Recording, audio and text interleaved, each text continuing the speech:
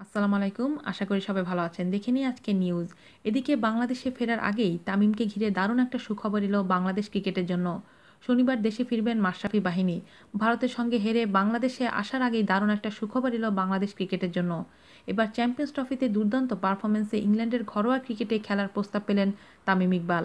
আসছে ন্যাটোয়েস T twenty ব্লাস্টে তামিমকে দলে চায় এসেক্স কাউন্টি ক্রিকেট ক্লাব যারা টি টোয়েন্টি খেলে এক্সেস ইগলস নামে।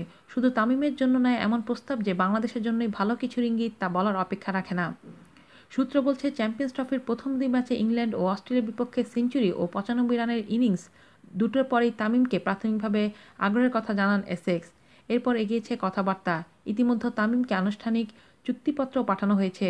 এমনিতে এই প্রস্তাবে চুক্তিপত্রে তামিমে সই না করার কারণ নেই, তবে তার জন্য সিদ্ধান্ত নেওয়া সহজ হবে না। ব্যস্ততা ও ঠাসা সূচির কারণে। টি টোয়েন্টি ব্লাস্টের সময়টার জাতীয় দলের খেলা নেই, তবে তার শরীরটা যে বিশ্রাম পাচ্ছে না খুব একটা। প্রায় দুই মাস দেশের বাইরে থাকার পর মাত্রই ফিরছেন দেশে। ন্যাটোস টি টোয়েন্টি ব্লাস্ট শুরু হচ্ছে আগামী সাতই জুলাই। ওখানে খেলে দেশে ফেরার পরে অস্ট্রেলিয়ার বিপক্ষে সিরিজ, এরপর দক্ষিণ আফ্রিকা সিরিজ। এত খেলার ধকল শরীর কতটা নিতে পারবে সেটি ভাবনার বিষয়, তবে সব দিক ভেবেও তামিম সুযোগটি হাতছাড়া করলে সেটি হবে বিস্ময়।